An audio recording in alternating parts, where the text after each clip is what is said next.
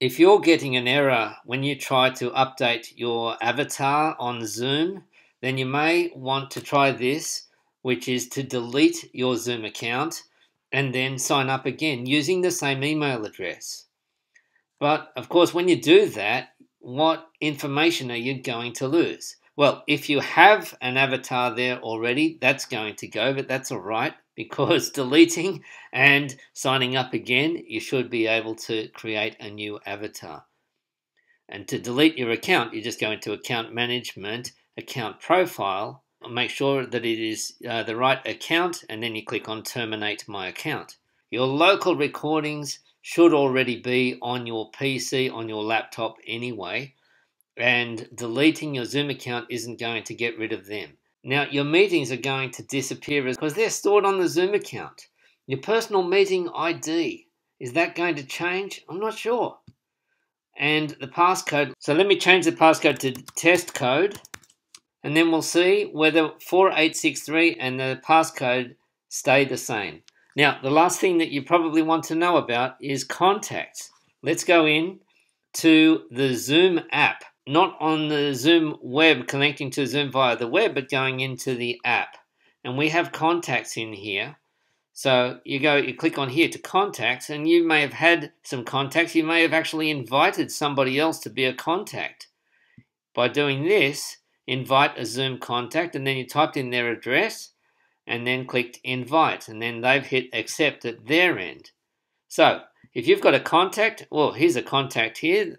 Who's that fellow? Okay, that's me under a different email address. So are those contacts going to go? Well, what we're going to do is delete the account and see how much of that is going to stay around after we delete. So 4863, the passcode we know that is, we know what that is. Let's go in and delete the account. So account management, account profile, terminate my account. And my account is deleted Okay, signing up again, I've got an activate email, so I click on activate. Okay, so let me go to my account.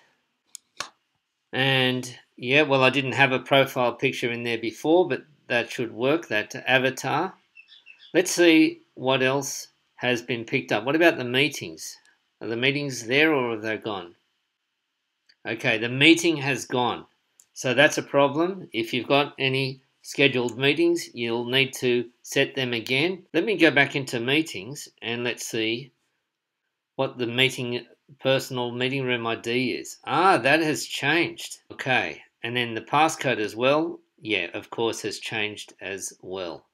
So this means that any links that you've sent under your old, your old account, you're going to have to resend the URL with the new link with the new meeting ID and the new passcode. And last thing I want to check is contacts. So once again, as I sign into the Zoom app, I'll see what contacts I've got and they're all gone. Oh! Okay, so you're going to lose your contacts. Your meeting, personal meeting ID is very likely going to change. Your passcode will change as well. And any settings that you've got in here any special settings for security and things like that that are different from the default, they're also going to go. So keep that in mind if you do delete your account. But the good news is that if you do it, you will be able to upload your, a new avatar.